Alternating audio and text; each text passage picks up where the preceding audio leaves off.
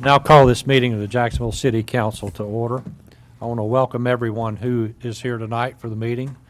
Uh, Also, I want to welcome those that are viewing the meeting on G10 television. Uh, To begin with tonight, we're going to start with the Pledge of Allegiance, and I'm going to ask uh, a young Boy Scout that's with us tonight, Mr. Amon Covey, and his, I guess his scout leader, uh, representing troop number 496. Uh, He's here working on his communications badge, and if he'll lead us in the Pledge of Allegiance, if everybody would please rise.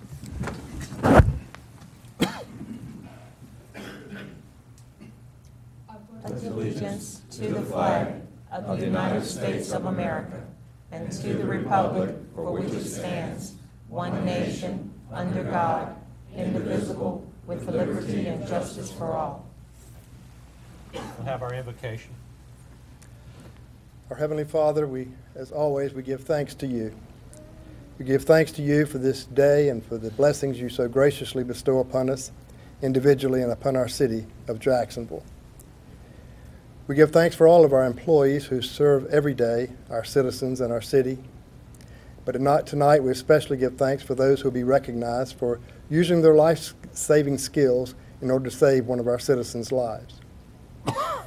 We also give thanks that we have had so far an uneventful storm season. And we pray that through your continued providence and guidance that we will not have any kind of storms or hurricanes as the season progresses. We also pray for all those who are serving us in the military here and around the world, for their families and for their safety. We pray for our mayor and our council, that your guidance and direction would always be with them. All this we ask in your holy name. Amen. Thank you, Amon. Appreciate it.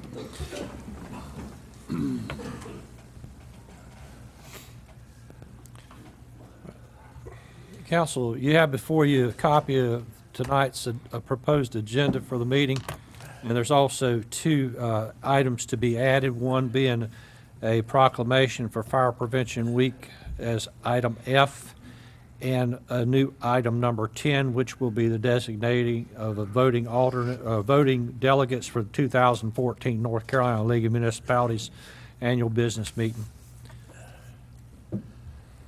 Move to adopt the agenda as amended with the additions. Second. We have a motion and a second. Are there any further discussion? Hearing none, all in favor signify by saying aye. All opposed? Next, we have approval of minutes, and this will be the uh, September 2nd, 2014 special workshop meeting, and also the September 2nd, 2014 regular meeting. Move approval of the minutes. Second. We have a motion and a second. Any further discussion? Hearing none, all in favor signify by saying aye. Aye. All opposed? We have several presentations to make tonight, and I'm going to come around front.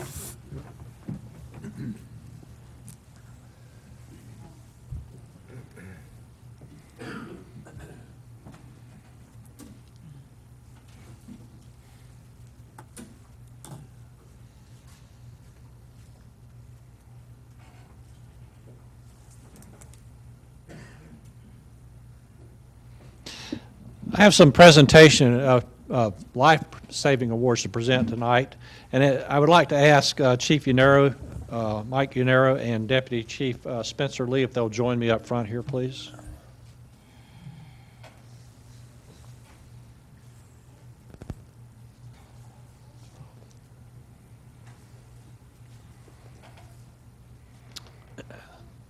Next, I'd like to ask uh, Captain Jimmy Davis from the Fire Department. Driver two, Christopher Blackman. Driver one, Kenneth Netzik, Netznick. Driver one, William Stanley. Telecommunicator Julie Robson. Chief, uh, and ask them to come up here and join me too, please. If you all stand over here. Thank you very much.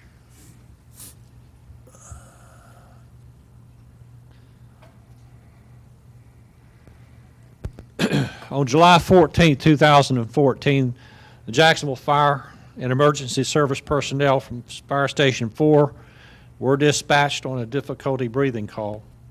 While en route, they were notified by dispatcher Julie Robson that the person had collapsed.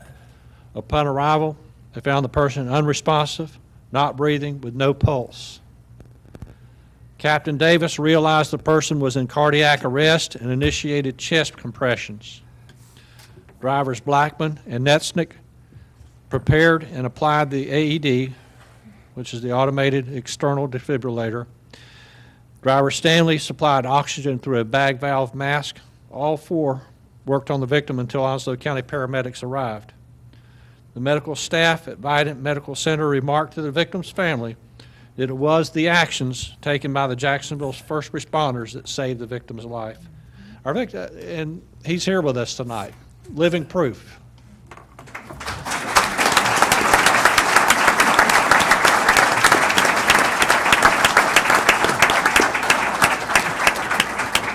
Good to be alive, isn't it? Yes, sir, it is. Thank you. Can I say one thing? sir? Yes, sir. Please come on up.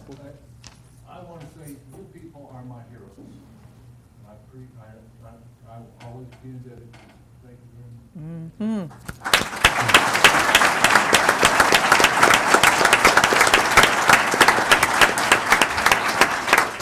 Very well said, sir.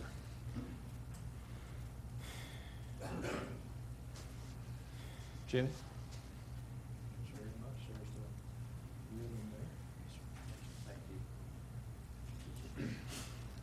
Chris?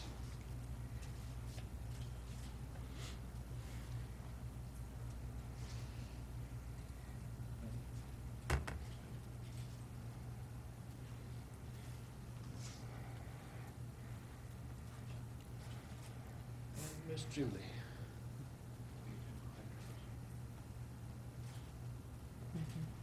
Let's give them a hand. These are.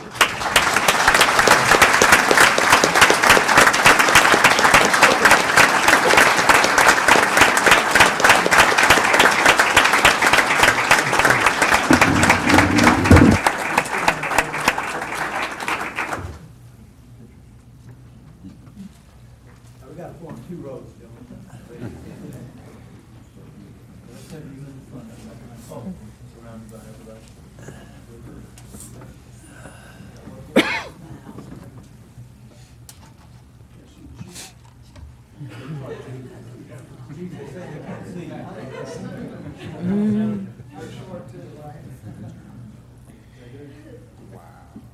Cameras, feel free to come up.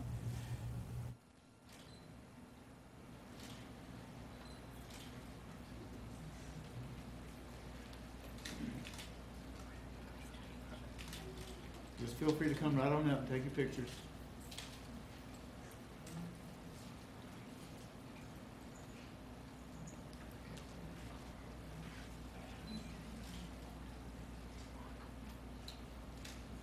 Okay, we have fifteen minutes left for pictures. Anybody?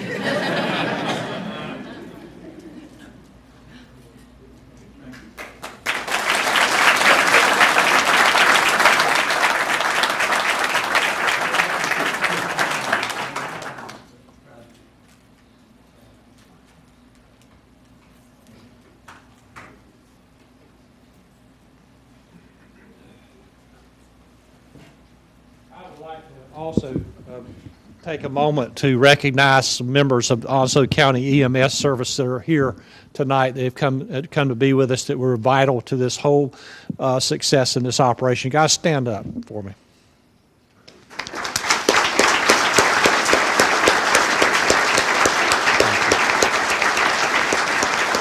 Thank you. Mr. Dale, you're very fortunate. You know, the citizens of this community are very fortunate that we have folks just like this. There's more than that. There's a lot of them sitting out here in the audience, the audience is back here. They work, they're out there 24/7. They're there, you know, in the event something should happen like that. Anytime that we can avert a tragedy, the loss of a loved one, or, or you know, it means it's, it's worth every, every minute of time, training, every dollar that's spent towards public safety anyway, and, you know, if that's for anybody out there, it, it was Mr. Dale this time, it could be somebody else the next, it could be your family member.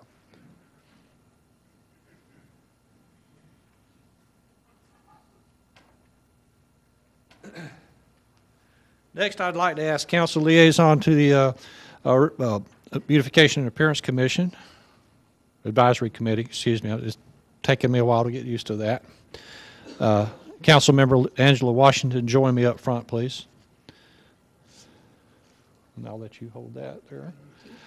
Um, Mrs. Frances Paget, she has been unable to be with us, but I do want to remark on the fact that her uh, residence was chosen uh, for the Outstanding Residential Appearance Award for, for uh, this past month. Uh, Her residence is at 410 Carmen Avenue, and it was nominated by consensus of of the Recognition Committee and others. It says nominators expressed that the home has evolved into a neighborhood enhancement through both improvements to the exterior of the home and the landscaping. As you see, there's photographs of the before and afters up here. The property now features a variety of greenery and flowers and just has, has risen back up again in this neighborhood. And uh, as you can tell by the pictures, uh, it was in pretty sad shape there. A beautiful home that, for one reason or another, that was allowed to uh, go downhill. But now you can see, hey, it looks just like it did 40, 50 years ago when it was built. So I want to thank Ms. Paget for her effort in beautifying, helping to beautify our community. Thank you, Ms. Paget.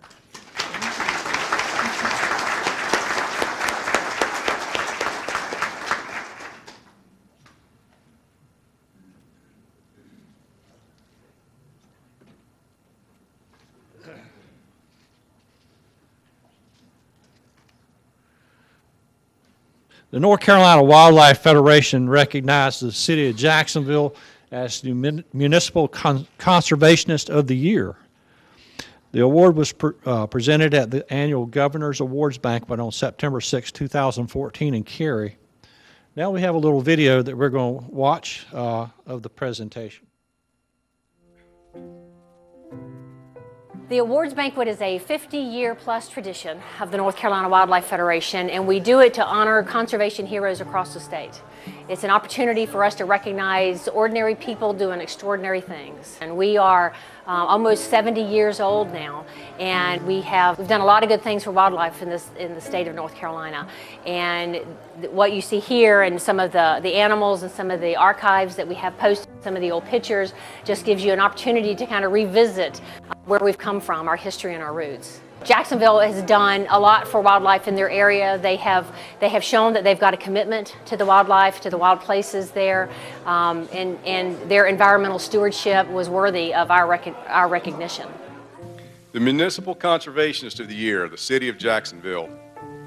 In the late 1990s, the City of Jacksonville kicked off its Wilson Bay Initiative, a program to restore water in, new, in the New Rivers Wilson Bay that for decades had been sullied by the city's wastewater treatment plant. Now, as part of that effort, the old wastewater treatment plant was reimagined and re engineered into new life as Sturgeon City, an environmental education center that not only makes amends for the past, but points the way to a future in which environmental restoration can be compatible with economic development. Under the longtime leadership of Assistant City Manager Glenn Hargett, Sturgeon City has become a centerpiece of Jacksonville municipal life. The center hosts field trips, public events, and even a street science outreach that turns teacher work days into environmental education fun days. Week long Sturgeon City Institute events offer summer camps in environmental stewardship. Last year, more than 10,000 children took part in educational events through Sturgeon City. But we'd also like to add our thank you to Jacksonville, to Glenn Hargett, and to Sturgeon City for a steadfast dedication to cleaning up the abuses of the past and committing to a sustainable future in which residents are committed to green living. The City of Jacksonville is the 2013 Municipal Conservationist of the Year.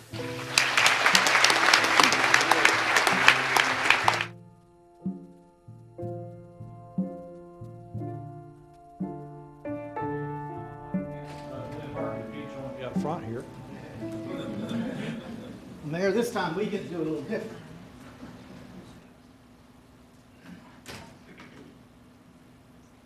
It's with great honor that we present this to the city. It is the work of the city council, the empowerment that the city council did, the vision that they had for what the river could become. think, if you would, about the predecessor to Richard Woodruff here. When Jerry Bittner was city manager, a, what he called a crazy professor, Dr. Jay Levine, came with Dr. Walter Tim, who was the economic development director for the, for the Onslow County, and said they had an idea about how they could clean up the river. Now, the reason why this was so important, as you will recall, the river had become horribly degraded. So much so that when there was a large hog waste spill in 1995, the predictions of gloom and doom that were to come from the 25 million gallons that spilled out into the river didn't manifest all of the fish kills and things that it was supposed to bring because the river was so dead. But through the use of implanted oysters, through the restoration of wetlands, through aeration, and through stormwater mitigation, Wilson Bay was restored to health. And even more so, there was this continued legacy that occurred of working with others, with Onslow County, with Camp Lejeune, with all those who have a partnership with the river to help sustain it and in keeping it their way. Every Thursday, um, the third Thursday of the month, still a New River Roundtable meets to talk about the river and talk about it. You have caused that to happen, City Council and Mayor Phillips. It is your work and your efforts to do it because we merely act out your desires on that. So it's with great honor that we present this award to you, and we hope that it will be accepted in the manner in which it's given because it is the work of the council, it is the work of this people and of our citizens in trying to advance the river and make something happen.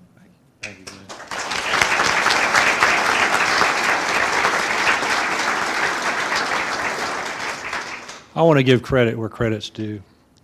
Uh, Without the tireless, indelible spirit of Glenn Hargett to keep this constantly moving, as long as I've known Glenn in government, I mean, uh, we would have never been able to do, accomplish near what we have been able to accomplish with bringing the river back to life. And again, like I said, it's that spirit that you have, Glenn, that sense of community that you have. Not only are you an employee and staff member of the city, but you are a true citizen of Jacksonville. And it's, it's obvious in your action and deeds. And I thank you very much for your dedication.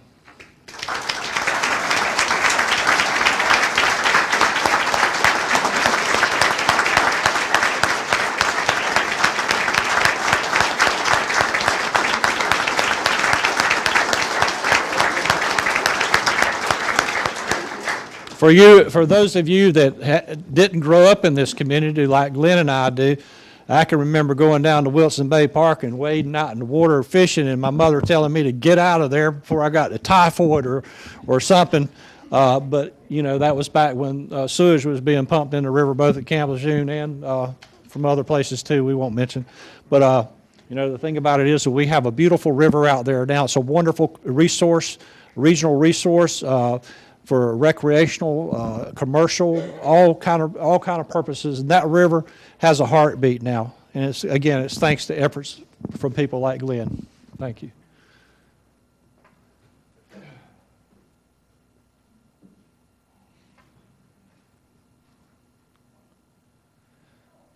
Okay. For this next uh, proclamation, uh, this is for Minority Enterprise Development Day. And I see that uh, our chairperson was unable to be with us tonight, but I would like to ask Millionaire Williams from the uh, uh, chamber to come up and join me. And I'd like to ask the rest of the committee from the chamber that's here to please come and stand. Very, very good. Thank you. I didn't. That is fine. Okay. Oh, she is here. Adrian, how you doing? Good to see you. Good to see you sitting right here.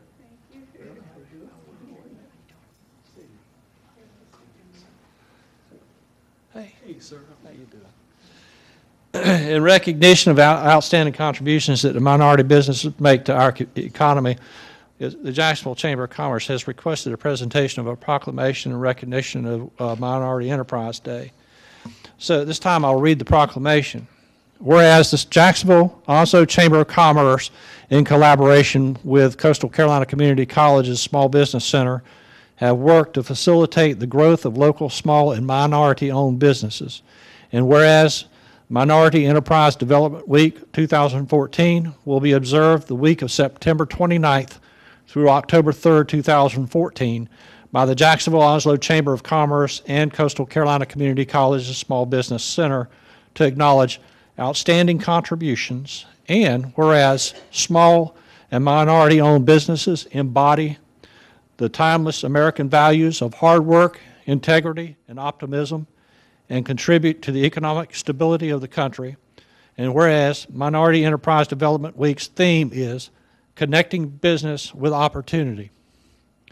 It offers an opportunity to increase awareness of programs and services obtainable through federal, state, and local governments, as well as to network with small businesses. And whereas the Jacksonville Onslow Chamber of Commerce and the Chamber's Minority Business Services Committee will honor a Minority Business Entrepreneur of the Year and the Linda L. Richardson Minority Business Advocate of the Year. Now, therefore, I, Sammy Phillips, the mayor of the city of Jacksonville, do hereby proudly proclaim the week of September 29th through October 3rd, 2014, as Minority Deve- Enterprise Development Week in the city of Jacksonville, and encourage all our citizens to join with me in honoring the important role small and minority-owned businesses have in our society. Furthermore, I commend the men and women whose ingenuity, integrity, and innovative spirit contribute to the free enterprise system on which the American economy was founded. And I will present this now to you, ma'am. Thank you. And I'm sure you would like to say one of. Well, I just say thank you uh, to the City Council for the recognition and the proclamation. We are so excited that we're, we are extending this year from just midday to midweek. This is something new for us, and we are so excited. And we all work very hard as a group to be able to do what needs to be done within this community. And it is a great honor just to be a part of what's being done in the city of Jacksonville and in Onslow County as a whole. And so we just say thank you to the city council. Thank you, Mayor Phillips, for always supporting us and allowing us to do what we're doing in the city and the county. Thank you.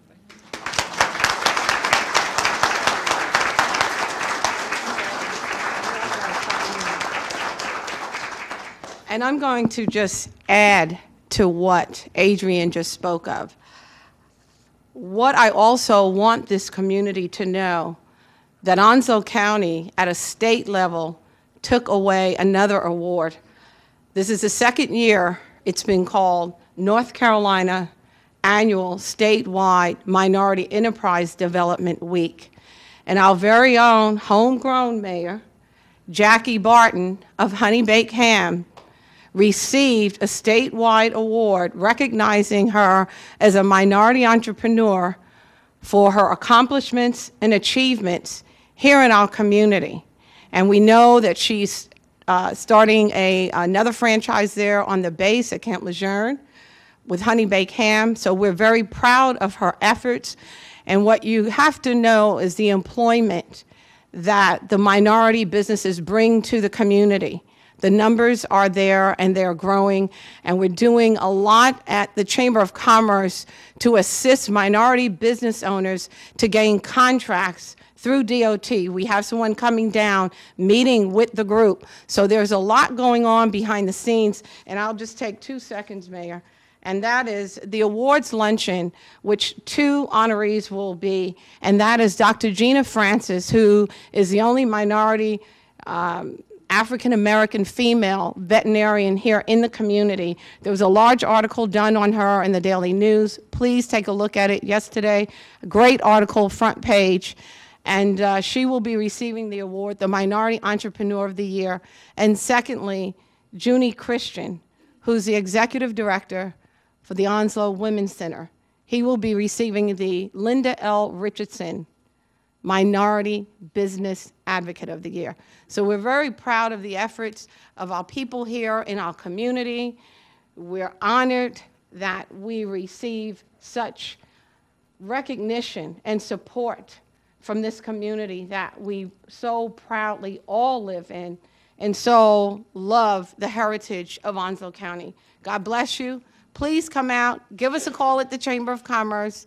We have the awards luncheon Monday, September 9th, the conference at the Chamber how logistics play a vital role in your business. And last but not least, we end up with our Business Expo at the Commons Recreation Center. And I will also say this, there are vendor booth space available, and we partner with the city of Jacksonville with this event as well. So thank you very much.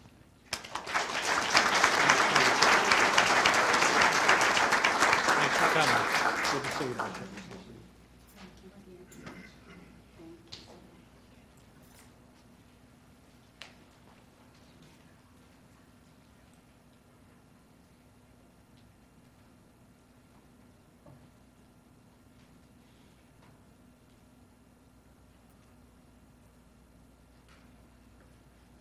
Bishop. The next uh, uh, presentation tonight, I have a proclamation for Jacksonville, North Carolina Fashion Week. And I have present with me tonight, uh, with us tonight, Pastors Lisa Clyburn and Mike Clyburn from New River Ministries and Latoya Scott from Final Touches Models Management. And if you'll come forward to accept this proclamation, I'd appreciate it. Mayor, I think we also have a lot of the fashion folks. Oh, abs- absolutely. Come on up. Thanks for coming, everybody. Yeah. Now, that does not include Spencer, and it doesn't include me in fashion. Good to see everybody. Why don't some of you folks come and stand on this side of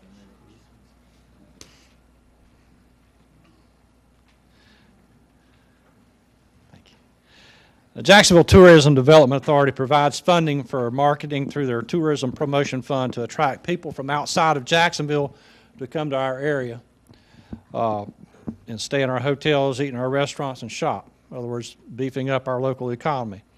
One of the events that they have funded uh, is the marketing for is the Jack, first Jacksonville, North Carolina Fashion Week to be held here in Jacksonville. It's a three-night celebration uh, beginning on Thursday, September 25th, uh, and will feature runway shows, the emerging designer and model competition, and a special Married to the Military fashion show. And I'm very pleased uh, to be able to present uh, this proclamation to the co-founders of this event, uh, Pastors Lisa and Mike Clyburn of New River Ministries and Latoya Scott of Final Touch Models Management. Whereas Eastern North Carolina has the largest demographic of young people ranging from 22 to 30 years old. This age group takes part in the change in fashion trends and are the reason for the motto, fashion is not what you wear, it's a lifestyle. And whereas Pastors Mike and Lisa Parker Clyburn of the New River Ministries and Latoya Scott the Final Touch Models Management have brought a fashionable event to Jacksonville. And whereas because New York City has the largest fashion week in the U.S., the theme for Jacksonville's event is, quote, a bite of the Big Apple, unquote. This event will showcase emerging designer and modern, uh, model talent truly becoming a pathway to New York. And whereas the three night celebration taking place at the Jacksonville Commons Recreation Center will uh, feature more than 10 runway shows, the emerging designer and model competition, and a special Married to the Military fashion show. And whereas charitable partners for the event include the American Cancer Society and Bras for a Cause. Jacksonville Tourism Development Authority provided funding for marketing through their Tourism uh, pro- uh, Promotion Fund to attract people from outside Jacksonville to our area. Now, therefore, I, Sammy Phillips, the mayor of the city of Jacksonville, do hereby uh, proudly proclaim the week of September 22nd, 2014, as Jacksonville, North Carolina Fashion Week in the city of Jacksonville. And I encourage everyone to support this event and its charitable causes by supporting the Trunk Show starting September 22nd with the Trunk, with the Trunk Show and attending the launch, red carpet, and runway shows on September 25th, 26th, and 27th. I think we got all the dates covered, don't we? And I, I really appreciate your efforts and, and what you're bringing to the community. And I will present you with this proclamation at this time. Thank you very much. Good good to see you. And I'm, I'm sure you have plenty to speak about the event, don't you? I'm not sure if that's a good thing or a bad thing.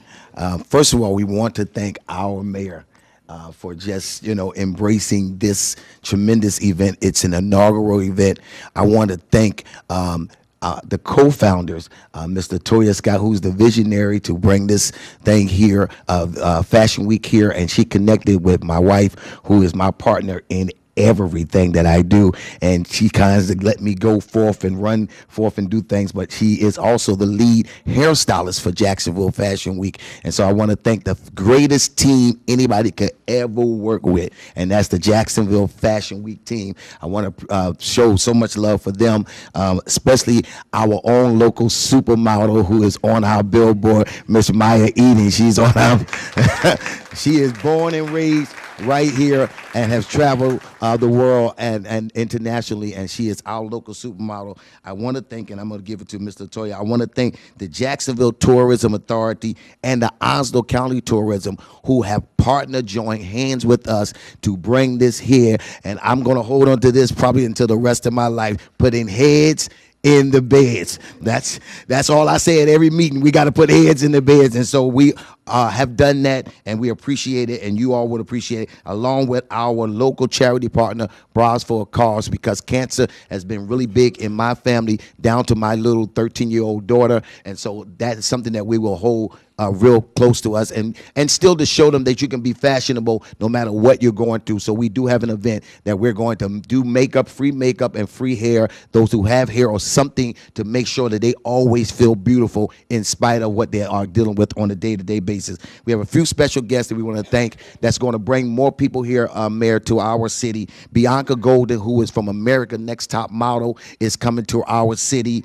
Uh, Shelly King, Miss Full Figure USA Plus, is coming to our city. Larry Dunn, some of the old school would know him. He's the keyboard player for Earth, Wind, and Fire.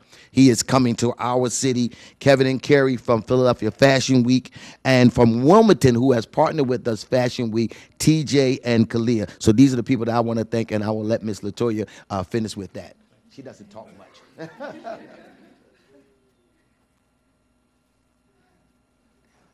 Good evening, everyone. Me lift this up a little bit. um, I just, um, I just like to thank everyone, and I, um, on the team. I could have, I never could have done any of this without everyone here on the team. I remember coming here, uh, I, I think a year ago, and uh, presenting Fashion Week um, at one of these meetings actually, and it was just me and Shamika here on the side, and then now it's a bunch of people, and we have so much so much accomplished now, and I'm just very proud of that. And I do uh, want everyone to come out and uh, support Jacksonville NC Fashion Week um, because this is going to be something extremely big, and it's going to be bigger than Wilmington. Um, I would like to thank um, a few of our sponsors that we have um, already. Um, Bob King, Mercedes-Benz, who is coming from Wilmington. Um, they will. They are one of our uh, lead sponsors. They are bringing a few Mercedes-Benz, actually, uh, a few cars for the show that they will be presenting um, have uh, on the sides of the entrance. Um, we have Jacksonville Hampton Inn and Suites as one as our lead hotel sponsor. Miller-Motte College, um, they they are supplying us with uh, a few of their cosmetology students.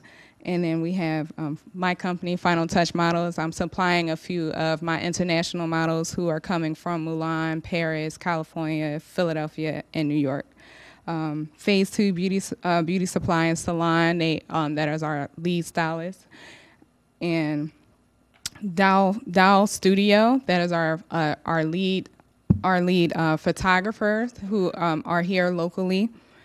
Um, Natural Beauty, uh, so, uh, Natural Beauty uh, Hair Care. Um, she's a part of our team.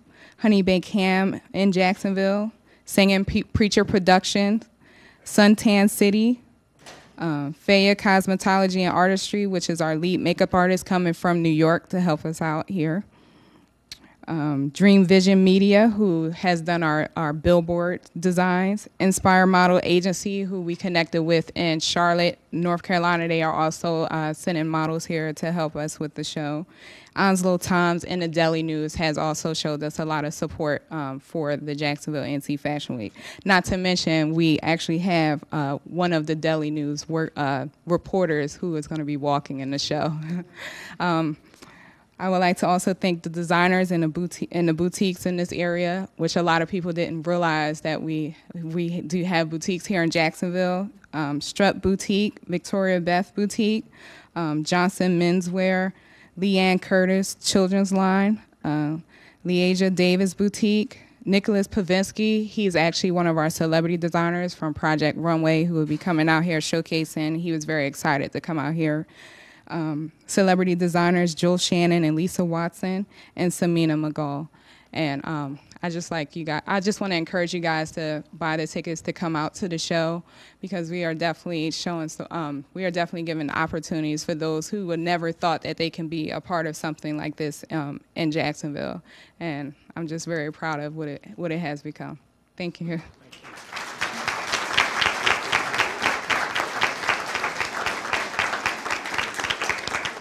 Well, thank you all for coming, and I really appreciate the initiative that y'all are taking up here and uh, bringing this to our community.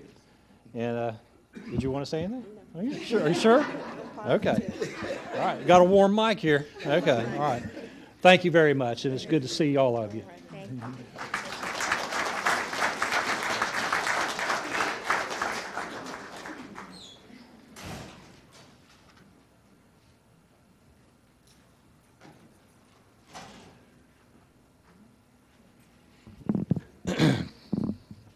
Next, I have a proclamation recognizing Fire Prevention Week.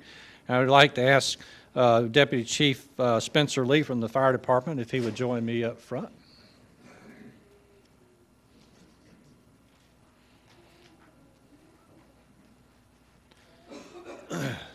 As long as I can remember, we've observed October 5th through the 11th as Fire Prevention Week. Uh, During this time, the Jacksonville Fire Department works hard to motivate Jacksonville's residents to keep, uh, keep themselves, their families, and their communities safe from fire. The City of Jacksonville would like to recognize the outstanding efforts of our fire and emergency services personnel with a proclamation naming October 5th through the 11th as Fire Prevention Week in the City of Jacksonville.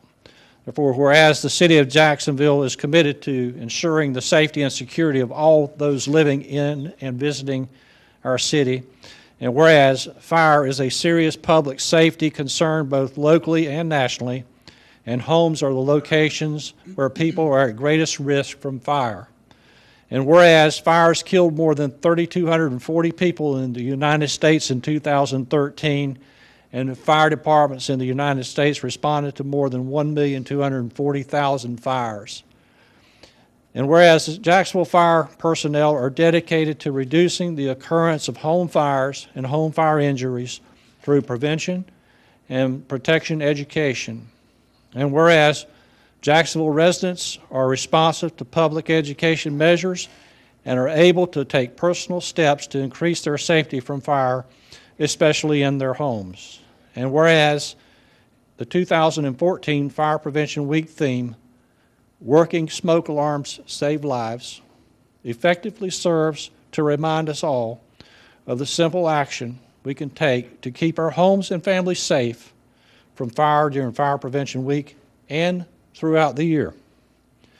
Now, therefore, I, Sammy Phillips, the mayor of the city of Jacksonville, do hereby proudly proclaim October 5th through the 11th, 2014, as Fire Prevention Week in the city of Jacksonville and throughout the city. And I urge all the people of Jacksonville to protect their homes and families by heeding the important safety messages of Fire Prevention Week 2014 and to support the many public safety activities and efforts of the Jacksonville Fire Department. Spencer, you want to say a few words?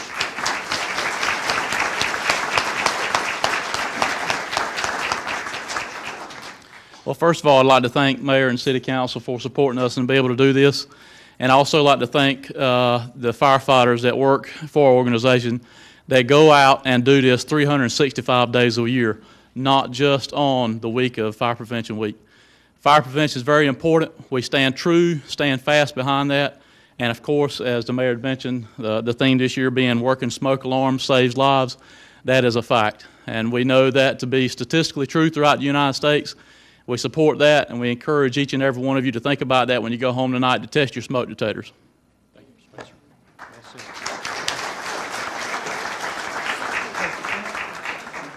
can have all the fire personnel who are here to come up, I'd like to take a group picture. Will you please come somebody became dressed as fashion.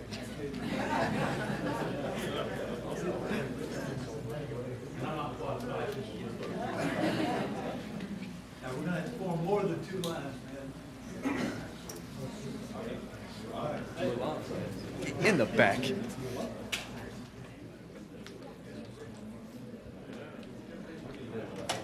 Mayor, we do need you in this group. I know a police officer surrounded by this many firefighters makes you nervous. Stand up here. Any way of getting that in the picture? You don't belong in the back. Yeah, yeah. You know that's not working. No. No.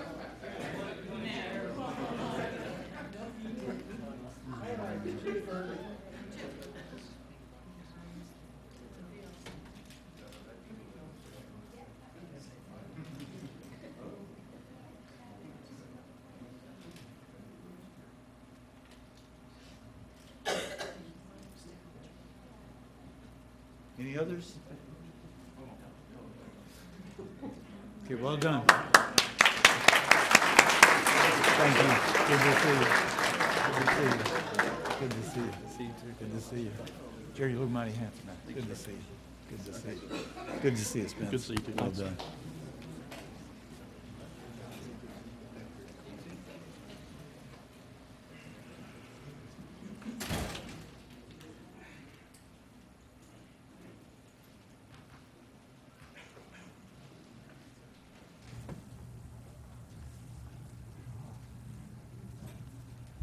All right, I have the first section, session of public comment. It'll be the next on the uh, agenda for tonight. Uh, But before we get to that, uh, I'm going, to I know a lot of you have come solely for the purposes of the presentations. And uh, I'm going to take a, just a brief little pause here and allow some of you to leave. Trust me, you're welcome to stay as long as you want to stay. I don't know why you'd want to stay, but uh, if you do, that's fine. But uh, anyway, I'll give you a chance to, to move out. They want to stay. But if you want to stay, please stay. Gentlemen like they say.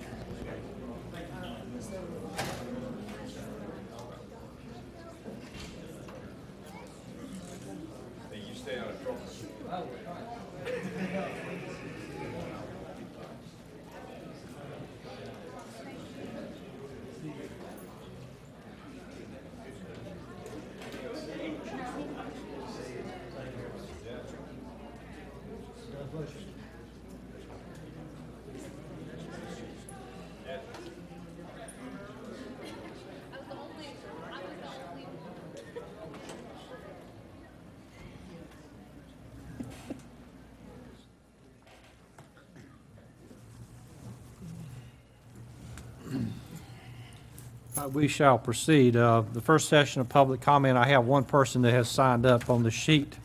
It'd be Mr. Thomas Brock. Thomas?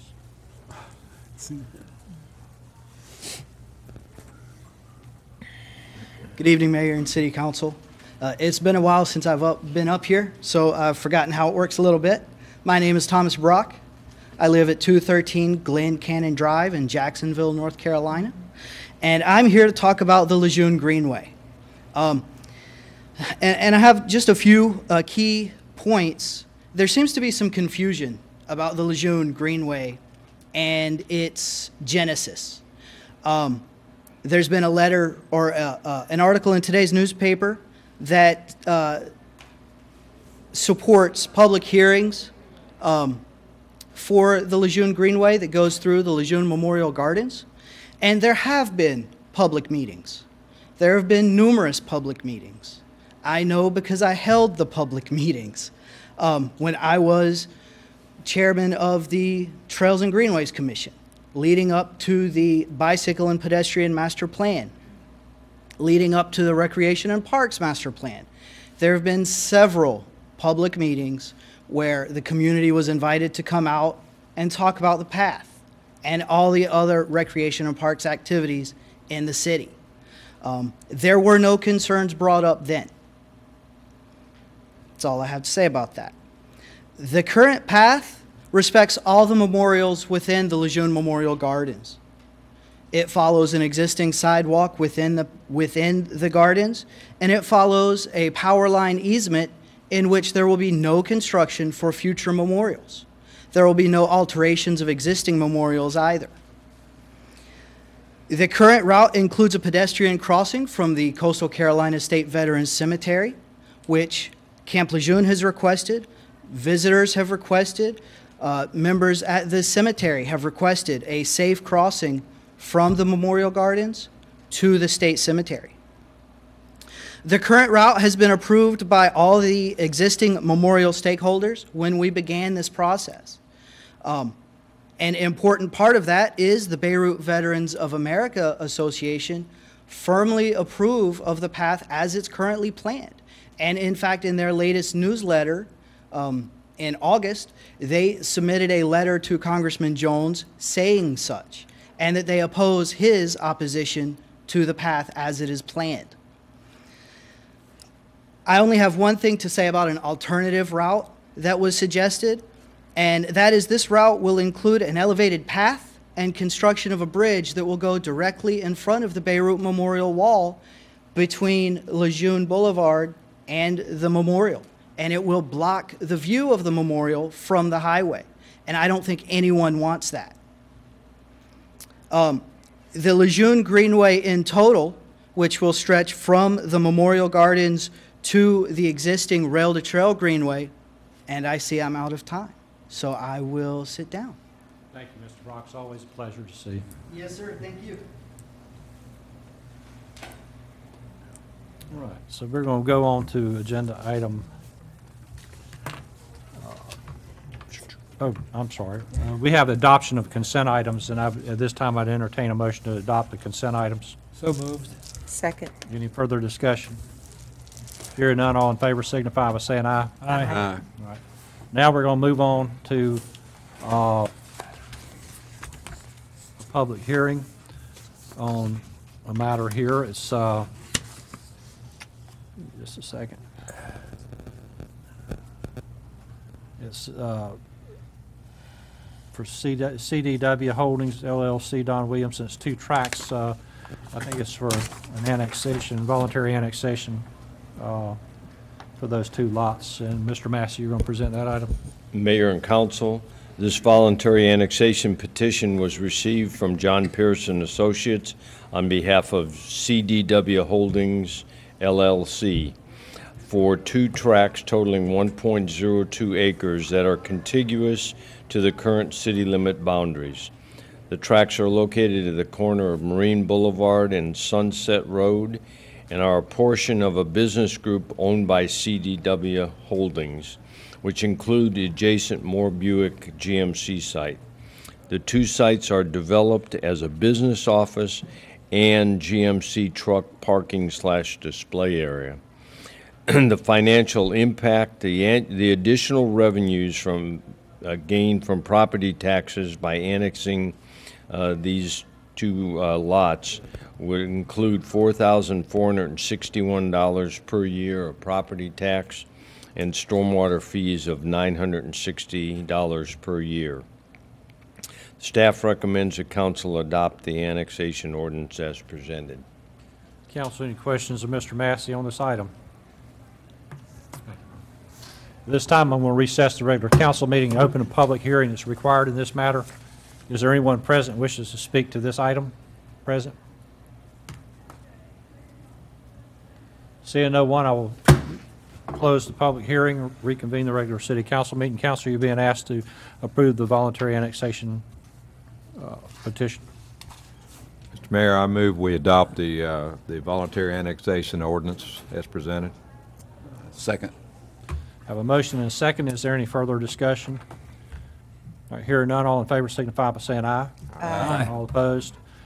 All right, brings us to agenda item number 10. This is uh, for the uh, North Carolina League of Municipalities, uh, alt- voting, uh, designating a voting and alternative, uh, alternate voting designa- designees for the 2014 North Carolina League of Municipalities Annual Business Meeting. Uh, the following members of council are currently registered to attend the annual conference. Myself, Mayor Pro Tem Lazar, Councilmember Jerome Willingham.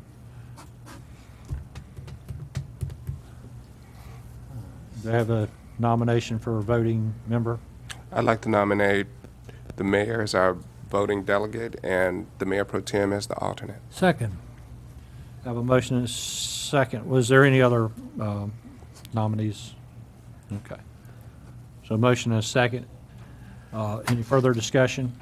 Hearing, Move the nominations be closed and the candidates elected by acclamation. so we're good with that, right? Second. All in favor, signify by saying aye. Aye. All opposed? All right, that brings us to our last section of public comment for the evening, and I do have Mr. Abe Rosen signed up to speak.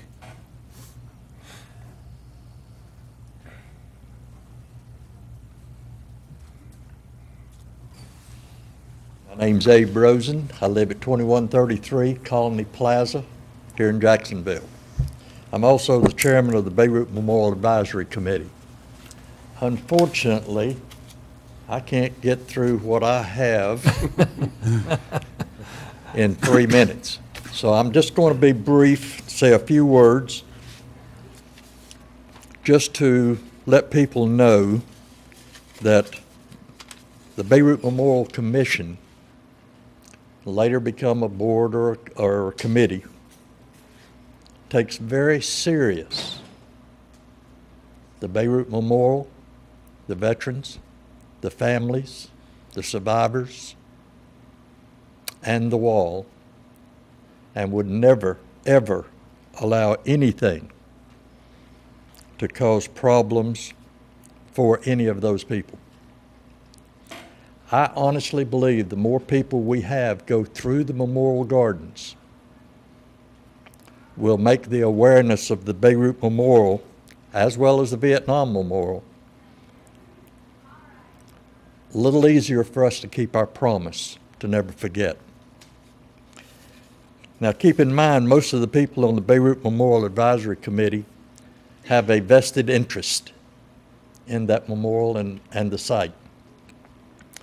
A few of us have spent three decades living with and looking after the memorial. We have a promise to keep of never forget, and we would not condone any attempt to tarnish the memory of the family members, the survivors, or the beautiful wall that we hold so dear. Thank you. Thank you.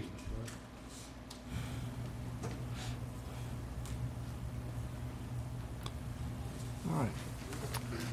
Next, we'll go to our reports, and I will start with Mr. Willingham tonight. Thank you, um, Mr. Mayor. Uh, Since 1941, our city has been known as the home of Camp Lejeune, and we take great um, pride in that. Um, Recently, we have received national recognition for our housing initiative. Uh, The recognition that we have received from the State Wildlife Federation for our conservation uh, efforts. All of these things are, are, are great recognitions that I really take pride in. The um, we've received, um, as I mentioned, national recognition for our housing initiative. On October the 15th, we'll be recognized statewide for the housing initiative, and um, I'll be there in Raleigh along with some of the um, staff and members of um, the Community Development Advisory Board to, to receive that award, uh, at, uh, award on behalf of the city, and I take great pride in that. Um, I'd also like to mention that um, I really appreciate the work of the Beirut Memorial Committee, and um, we have several veterans sitting on City Council, and, and we take um, pride in those, um, all of our memorials. I brag about the memorials that we have here and suggest them as a tourist destination all of the time. So I, I think that um, between all of our volunteers that have put in years of effort into creation and preserving, I think that um, the plans for our um, the future memorials and the, the bike trail are in good hands. Um, I'd also like to thank um, the um, Chamber and um, the City Council for supporting the recognition of Tyrone uh, Willingham uh, on the African American Heritage Trail. Uh, on behalf of him, I'd uh, special thanks to uh, the mayor and uh, especially uh, his classmates. Um, the words from Mr. Warden and Mr. Um, Thomas um, really meant a lot at that um, recognition ceremony, as well as uh, Glenn Hargett. So um, thank you all for that. And uh, Tyrone appreciates this, com this community so much that he, he's even building a house across from our city manager's house in the park. So um, thank you all. Nothing further. Mr. Bittner? Well, you can't help but think about with all the awards we received, the recognition, national recognition, housing, conservation, the work that the Beirut Committee has done, the Memorial Gardens. We live in a great community. I'm sure glad to be here, and I hope you are too. That's it. Thank you. Mr. Warden? Uh, Speaking of uh, memorials, just recently, we, we uh, attended the countywide celebration of, of Patriots Day at the Memorial Gardens, at the, uh, the the 9/11 Memorial, the piece of, of steel that was in the World Trade Center, and and again, it made me grateful to, to live in a community that promises not to forget to recognize as heroes who are appreciative of, of the sacrifice that uh, first responders as well as our military makes to, uh, to help keep us safe, and, and we're very appreciative of that. So again, uh, I'm glad to be living in this community also, Jerry and, and Jerome. That's all. Thank you. Mr. Thomas? Thank you, Mayor. I- I'm glad to be living here, too. I appreciate all the, the hard work everybody does, and wanted to mention that one of our uh, natural resources, the beautiful weather, I hope, that's coming for this weekend in the River Palooza, that everyone can come out on Friday night, starting at five. Uh, It's going to be all day Saturday. Should be a really wonderful event. It's, uh, I can't remember what year this is for it, but it's, it's going strong. It should be a real nice weekend for it. Hope to see a lot of you out there. What night is Nantucket scheduled? Uh? Saturday at six. Mhm. Thank you. Ms. Washington? Yes, sir. Um, The City of Jacksonville Environmental Appearance Advisory Committee invites you to nominate someone from your neighborhood or your own decorative home for our first Halloween, or excuse me, our first holiday home decorating contest. The 2014 Holiday Home Decorating Contest is a great way to show off your community pride and to light up this special season. It is also a perfect family project for the entire family and community to enjoy. This contest will encompass our three upcoming holidays, Halloween, October 1st through the 31st, Thanksgiving, November 1st through the 30th, and Christmas, December 1st through the 31st, with an award being given for the most festive and creative home for each period. All entries will be judged on the basis of themes, design, creativity, and participations. Entries will be featured on the City of Jacksonville Facebook page, and voting will be open to the public with the final decision being made by the Jacksonville Environmental Appearance Advisory Committee. So please go to the Jacksonville website or call City Hall for more additional information. Thank you. Dr. Woodruff.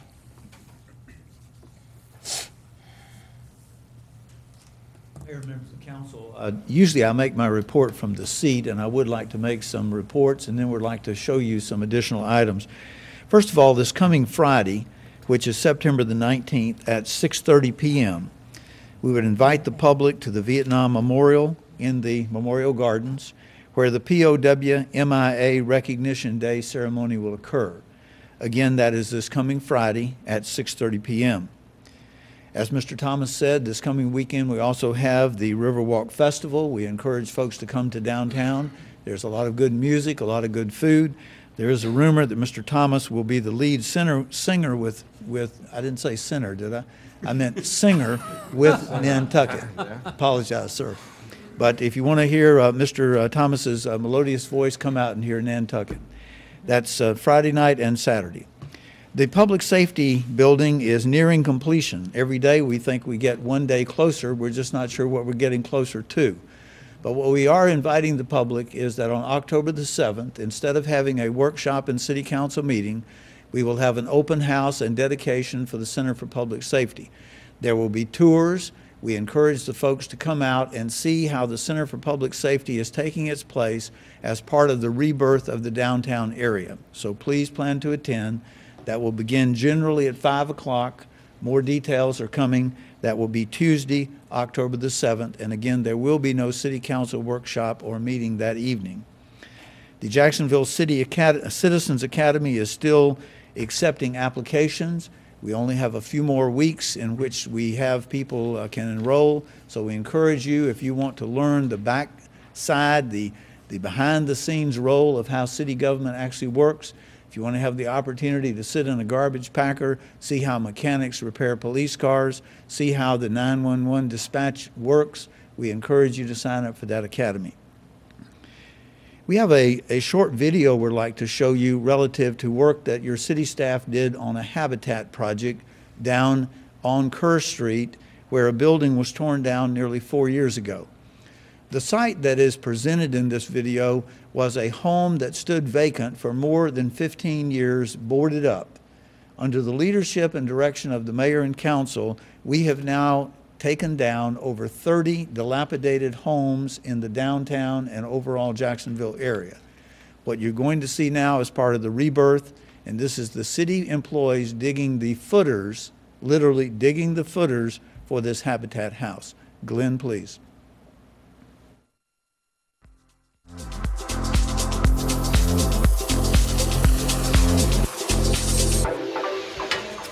This is the City of Jacksonville's Leadership Development Team, and we are out here today volunteering for Habitat for Humanity on their build at 302 Spargo Street.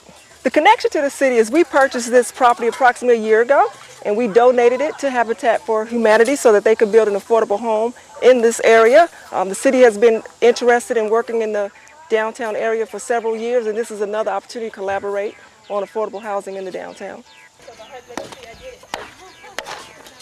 The Leadership Development Program is an initiative that the city started to help the new um, leaders in the city develop and become the leaders of the future. This fits into the Community Development Long Range Plan because affordable housing is one of the, the primary things that we are doing. Over the next five years, we plan to build um, affordable housing for our first-time homebuyers. And we have worked with Habitat in the past on another project that they did here in the city. So when they came downtown, it was a, a natural fit for community development to get involved. And I saw the opportunity also invite our leadership program to participate. This feels great. Um, it's one thing to sit in the office and do the paperwork. It's another thing to actually get out and contribute and be a part of it. And I'm actually so proud. I know when I drive down the street in the future after the home is built, I'll be able to say City of Jacksonville played a small part in that, and that makes me proud.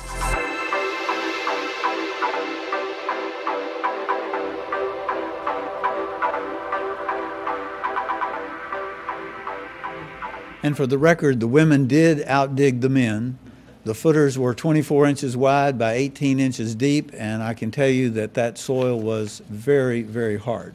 So, second thing we would like to do this evening is take just a moment, as several speakers have addressed the issue of the Beirut Memorial and the trail. It's something that has been with this community for many years, and that is the goal of building the Lejeune Trail. The history you lived, I certainly did not. It goes back into the 1980s, and it began after the railroad tracks were removed. There was strong support to build a connection between the base and to convert the downtown railroad trail into something that people could jog on, walk on, bicycle on. The first trails were built when the tracks had been taken out. Please. Many of you know the history of the bridge that goes over 24. And it's been interesting in the four years that I've been privileged to be here, how many times people have asked me, when are you going to paint that bridge? Well, the reality is, it's not supposed to ever be painted. It was designed this way with the rust patina look, and it is a tremendous asset. The way it's an asset, though, is it connects the civilian side of the community and the military side by giving them a safe passage. You can see here families, whether they're walking, whether they're riding a scooter, or whether they're riding a bicycle. This is a facility that's used daily, please. The particular project that is currently under discussion in the papers and even at the national level through Representative Jones actually goes back to 2007 when the funding was begun and the design was also funded. Please. The design process, engineering firms were engaged, special engagement to help the Lejeune Memorial Gardens area. The city sought outside stakeholders. As one person testified today, there were public hearings. Now, not everyone who's here today who has an opinion, pro or con, regarding the trail, attended those public hearings. Whether you lived here or whether you've moved here, we just want to confirm there were public input sessions. We took a lot of public input and the representatives of all the memorials were invited. Please. Many different ideas occurred, strong objections to running anything between Beirut Memorial and Lejeune Boulevard. As was mentioned earlier, you may not realize that the land between the Highway 24 Lejeune Memorial uh, Boulevard and the Beirut Memorial is not level ground. There is a floodplain there in order to build anything in that floodplain, you're going to have to elevate it. And one of the problems with elevating it is what? It blocks the vision, it blocks the view of the back of the memorial. Now, this was the first memorial that we built in this community. Many of you contributed personal dollars to that. And since that memorial was built, no entity, absolutely no entity, has contributed more money to the Memorial Grove and the memorials that have been built there than this city council. You have contributed over $2 million to help bring into reality those memorials. Why anyone would think that you, as the leaders of this community who have invested $2 million in that, would do something that would desecrate that investment baffles me. Please. This is a graphic that shows at the top Highway 24. On the left-hand side, of course, is the entry to Camp Johnson. You will notice in the area, and Glenn, you're going to draw for me, if you will draw where the Beirut Memorial is. You'll also draw, please, where the 9-11 Memorial is, where the Vietnam Memorial is, where the soon-to-be erected Montford Point Marines and the uh, Museum of the Marines are going to be. What's important about this is there's a master plan for the entire garden. And the boundaries for each of the memorials are set. And by purpose, the boundaries don't run into each other. You will notice the spacing between the Vietnam and the soon to be erected Montford Point. You'll notice the spacing between the Beirut and the 9 11. That's intentional. Where the route is proposed for the path actually runs under a power line. Nothing else can be built in that power line. It is not an invasion on any of the memorials. please. Next graphic, please. This is a close-up. It's a little difficult to see, but you will notice where the Beirut Memorial is located. And if you notice the circles that are in this area, that's the limit of the Beirut Memorial. Anyone who has been misled by whatever information they have gotten, we're sorry that you don't have what I believe are accurate facts. What you will see is that there is a limit to the Beirut Memorial. And this trail in no way desecrates or impinges upon or infringes upon the area that's been set aside for the Beirut Memorial. Please. One of the things that, that I have to admit really amazes me is how anyone at the federal level, state level, or local level are concerned about bicyclists coming to the Memorial Garden. Now, as many of you know, I ride my bicycle to work at least one day a week and some day five days a week if it's not raining. When it is raining, I ride a little faster. But the thing that amazes me is how anyone in Washington can say that we should not have bicycles in our memorials when, in fact, look at what happens in Washington. Here's a young man who rode his bicycle to which memorial? You recognize what that is? World War II Memorial. Next, please. Which memorial is this? Vietnam. Vietnam. Next, please. Which is this? Which is, next, please. I mean, the list goes on. Please. Please. This is the latest memorial, and it is which, Mr. Willingham? Martin Luther King. Yeah, Martin Luther King. Bicycles are such a part of the Washington Mall that you can actually rent a bicycle on the mall so that you can ride and see all of the memorials. How people think that bicyclists are going to desecrate any mall or any monument anywhere is just something that I have difficulty understanding. Our pledge as the city of Jacksonville is very clear. It's clear to the families of the Beirut victims. It is clear to the families of every person on the Vietnam Wall. It is clear to every person who has ever worn the uniform to protect freedom. And that is that this city stands for the integrity and the protection and the long-term maintenance and the memory of the people who sacrificed in those days. I pledge to you as the city manager that when this bicycle path is installed, it will be installed with all reverence to ensure that no memorial is in any way desecrated, and that the police department will do all within their power to ensure that any person, whether walking or riding a bicycle, who enters that park stays proper in their behavior and respects the dignity of these facilities. Thank you. Carter? So this time, I'm going to recess the, uh, Adjourn the council meeting. can I speak?